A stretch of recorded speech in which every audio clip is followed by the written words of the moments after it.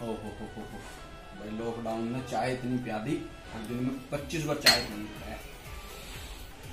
साधु साहब को पूछता हूँ, क्या कर रहे हैं?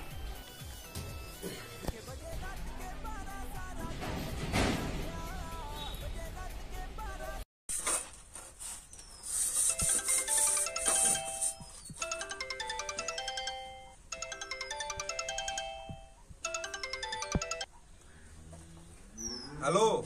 हेलो। जी साडू साहब। और क्या हाल चाल जी? हाँ जी हम बढ़िया हैं। आप सुनाइए।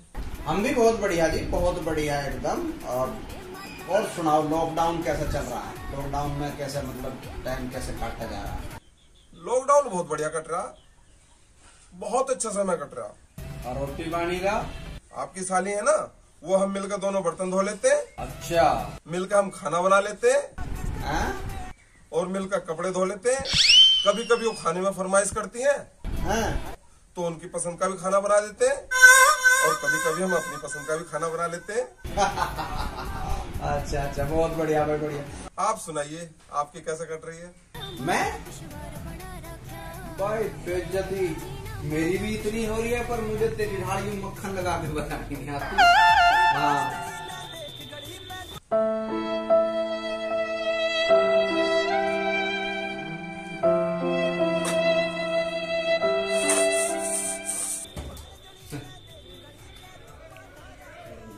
सब्ज़ी काट लिए हाँ तू क्या देख रहा बाबूजी बेइज्जती तो मेरी भी इतनी हो रही जितनी थारी हो रही है तेरी काहे में बेजती हो रही है जी आपकी बेइज्जती होगी तो मेरी भी बेइज्जती होगी तेरा काम है यू हमारा थोड़ी काम है यू हम तो इस लॉकडाउन की वजह से फंसे हुए हैं अजी काम तो ठीक है पर अच्छा मुझे एक बात बताओ यू लॉकडाउन क्या लपड़ा इसका लोकअप भी तो हो सकता गधे लॉकअप का मतलब जेल हो।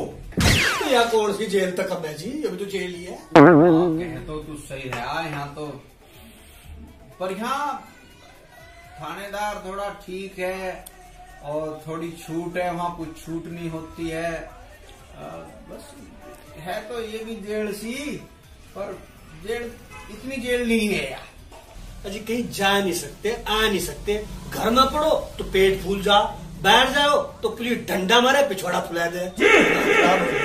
अरे उसमें तो साले बाँध के गिर दे रोज मंजाई हो पिटाई हो यहाँ तो सब्ज़ी वब्जी काटने थे पोछा लगाने थे काम चल जा रहा है। ये अभी ठीक कह रहे हैं जी तुम। हाँ अपने लगाओ जा रोटी तो मिल रही है। ठीक है ना? ठीक है। हाँ कभी ये सोच रहा हो भाई इसे इसे जेड़ मान रहा हो, जेड़ ना आया? या थोड़ी मीठी जेड़ मान ले तू? अब करूँगा अपने।